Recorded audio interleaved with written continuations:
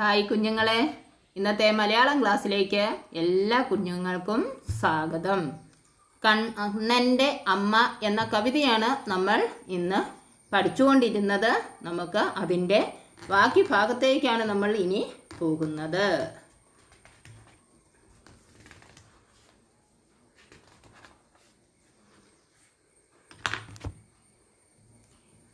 മാറ്റി എഴുതാം. നമ്മുടെ text book page number four പതിനാലിൽ പറഞ്ഞിരിക്കുന്ന മാറ്റി എഴുതാം എന്ന ഭാഗമാണ് നമ്മൾ ഇപ്പോൾ ചെയ്യാൻ പോകുന്നത്.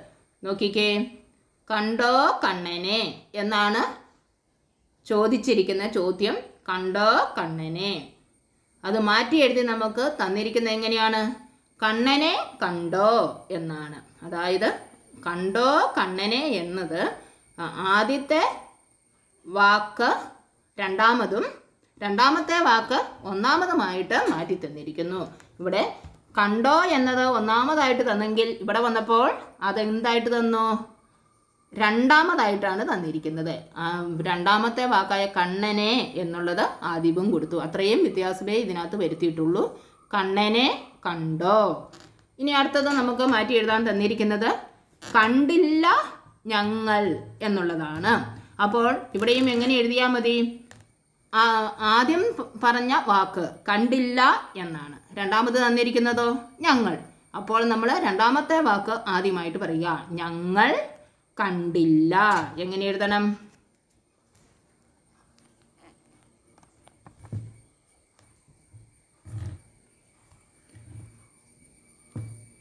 കണ്ടില്ല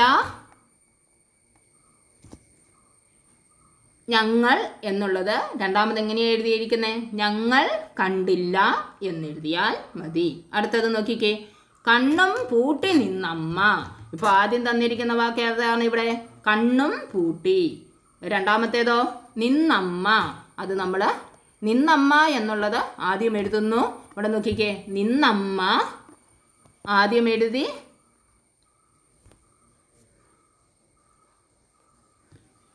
കണ്ണും പൂട്ടി എന്നത് രണ്ടാമതും എഴുതി. അന്നേരം ആ സെന്റൻസ് എങ്ങനെയാണ് വായിക്കുന്നത്? നിന്നമ്മ കണ്ണും പൂട്ടി എന്ന് വായിക്കുന്നു. അടുത്തത് വലഞ്ഞപ്പോൾ അമ്മ എന്നാണ് പറഞ്ഞിരിക്കുന്നത്. ഇപ്പോൾ വലഞ്ഞപ്പോൾ അമ്മ എന്നുള്ളതിൽ അമ്മ എന്നതാണ് രണ്ടാമത് വന്നിരിക്കുന്നത്. വലഞ്ഞപ്പോൾ ആദ്യവും തന്നിരിക്കുന്നു. എങ്ങനെയാണ് അത് എഴുതുന്നത്? അമ്മ വലഞ്ഞപ്പോൾ എന്നാണ് എഴുതേണ്ടത്. ഇതിനെക്കുറിച്ച് കൂടുതൽ കാര്യങ്ങളൊക്കെ നിങ്ങൾ മുതിർന്ന ക്ലാസ്സുകളിൽ പഠിക്കും. ഇപ്പോൾ നിങ്ങൾ എങ്ങനെയാണ് ഇത് മാറ്റി എഴുതുന്നത് എന്ന കാര്യം മാത്രമേ ശ്രദ്ധിച്ചാൽ മതി. ഓക്കേ. ഇനി അടുത്തതായിട്ട് നമ്മുടെ ടെക്സ്റ്റ് ബുക്കിൽ പറഞ്ഞിരിക്കുന്നത് കുട്ടിക്കാലം കുസൃതിക്കാലം. കളിയുമായി ബന്ധപ്പെട്ട് നിങ്ങളുടെ ജീവിതത്തിലുണ്ടായ രസകരമായ ഒരു സംഭവം എഴുതുക എന്നുള്ളതാണ് ഇവിടെ പറഞ്ഞിരിക്കുന്നത്. എന്താ? കളിയുമായിട്ട് ബന്ധപ്പെടുത്തി നമ്മുടെയൊക്കെ കുട്ടികളുടെയൊക്കെ ജീവിതത്തിൽ രസകരമായ ഒത്തിരി ഒത്തിരി സംഭവങ്ങൾ ഉണ്ടായിട്ടുണ്ട്.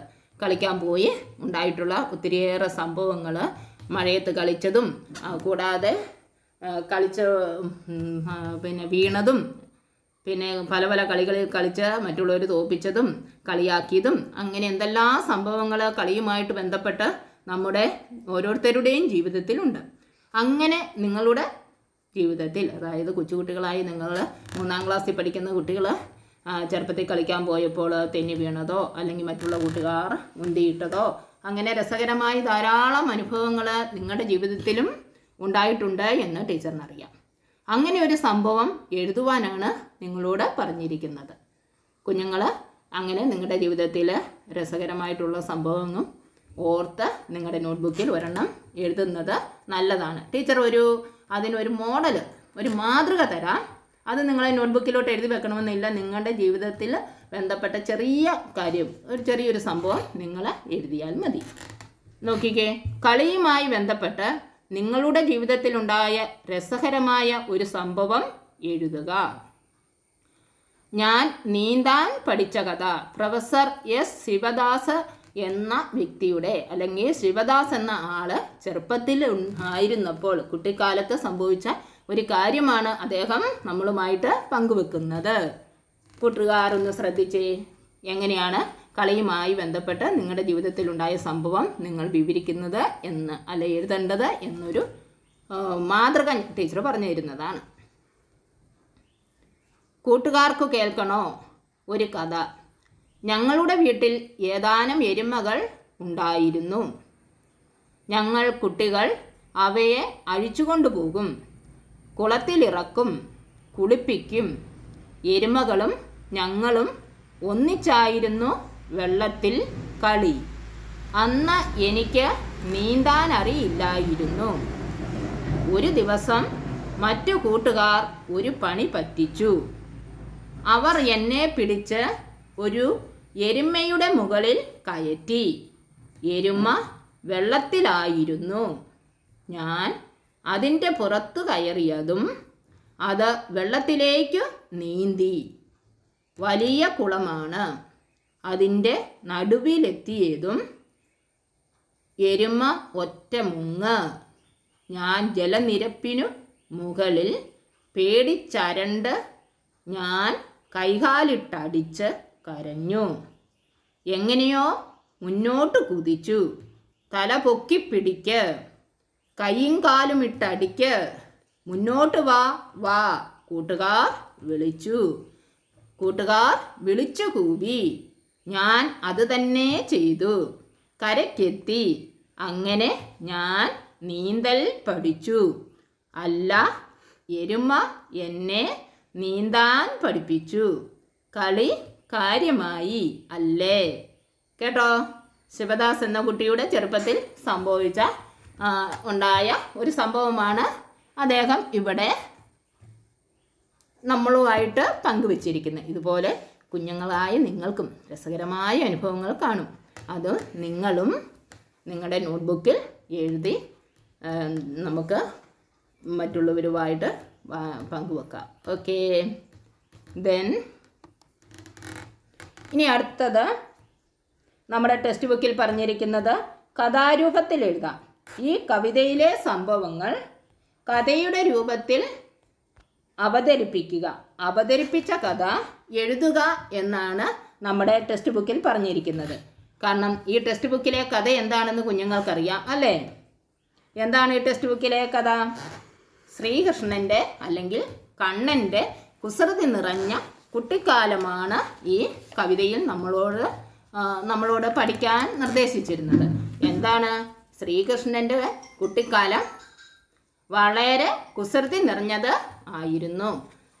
കുസൃതി കാട്ട് മറ്റുള്ളവരെ വിഷമിപ്പിക്കുക പീഡിപ്പിക്കുക തുടങ്ങിയവയെല്ലാം കണ്ണന്റെ രസകരമായ ലീലകളായിരുന്നു. ഈ ലീലകൾ മറ്റുള്ളവരെ വേദനിപ്പിക്കുമെന്ന് കണ്ണന് അറിയില്ലായിരുന്നു. എല്ലാം അവനൊരു കുസൃതിയും കാണിച്ചതിന് ശേഷം പുഞ്ചിരിയോടെ മറ്റുള്ളവരെ നോക്കി പുഞ്ചിരിച്ച് നിൽക്കും. അതവന്റെ ഒരു ലീല തന്നെ ആയിരുന്നു.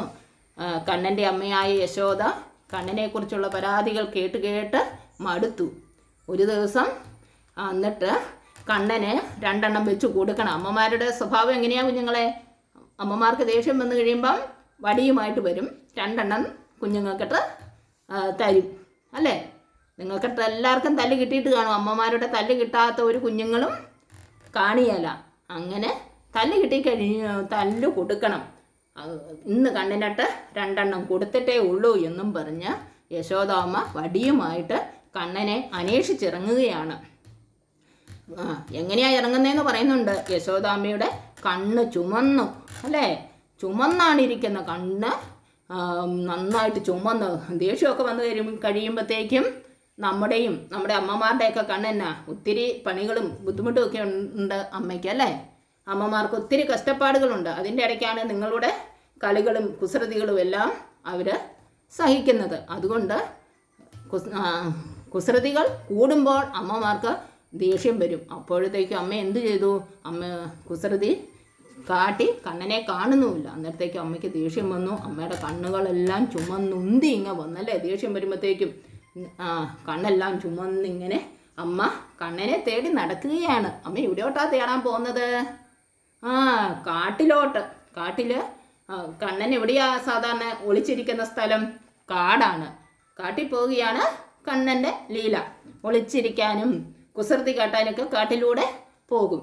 അതുകൊണ്ട് അമ്മയ്ക്കറിയാം കണ്ണനെ കണ്ടില്ലേ എവിടെയാണ് അന്വേഷിക്കേണ്ടതെന്ന്. അല്ലേ? നിങ്ങളെ കണ്ടില്ലേ എവിടെയാണ് അന്വേഷിക്കേണ്ടതെന്ന് നിങ്ങളുടെ അമ്മമാർക്കെല്ലാം അറിയത്തില്ലേ? അമ്മയ്ക്ക് കുഞ്ഞുങ്ങളുടെ എല്ലാ കുസൃതികളും അറിയാം. കണ്ണൻ കുഞ്ഞുങ്ങൾ എന്താ ചെയ്യാൻ പോകുന്നത് എവിടെയാണ് ഒളിച്ചിരിക്കുന്നത് ആ ഏത് കളിയിലാണ് ഏർപ്പെട്ടിരിക്കുന്നത് ഇതെല്ലാം അമ്മമാർക്കറിയാം. എന്ന് പറഞ്ഞുകൊണ്ട് കണ്ണന്റെ അമ്മയായ യശോദാമ്മ കണ്ണനെ തേടി കാട്ടിലൂടെ പോവുകയാണ്. ദേഷ്യവുമുണ്ട്. കയ്യിലെന്തുണ്ട്? വടിയുമുണ്ട്. ഇന്ന് അവനിട്ട് രണ്ടെണ്ണം കൊടുക്കണം. ഇതാണ് അമ്മയുടെ മുഖത്തെ ഭാവം. ആ കാട്ടിൽ ചെന്നു. കരിവണ്ടിനെ കാണുന്നു. തുമ്പിയെ കാണുന്നു. മലർ ചെണ്ടുകളെ കാണുന്നു. പേടമാനെ കാണുന്നു. അവസാനമായിട്ട് കാളുന്തി ഓളങ്ങളെയും കണ്ടു. ഇവരോടെല്ലാം അമ്മ എന്താണ് ചോദിച്ചത്? അമ്മ ഒരു കാര്യം മാത്രമേ ഇവരോട് ചോദിക്കുന്നുള്ളൂ. എന്താണ് ചോദിക്കുന്നത്? കണ്ടോ കണ്ണനെ. അമ്മ ചോദിക്കുന്നത് എങ്ങനെയാണ്? കണ്ടോ? കണ്ണനെ എന്ന് ചോദിച്ചല്ലേ? എന്തുകൊണ്ടാണ് അമ്മ അങ്ങനെ ചോദിക്കാൻ കാരണം? അമ്മയ്ക്ക് ദേഷ്യമാണ് കുഞ്ഞിനെ കാണുന്നുമില്ല. അന്നേരത്തേക്കും ദേഷ്യവും സങ്കടവും എല്ലാം കൂടെ കൂടിയ സ്വരത്തിൽ അമ്മ ഇവരോടെല്ലാം ചോദിച്ചു.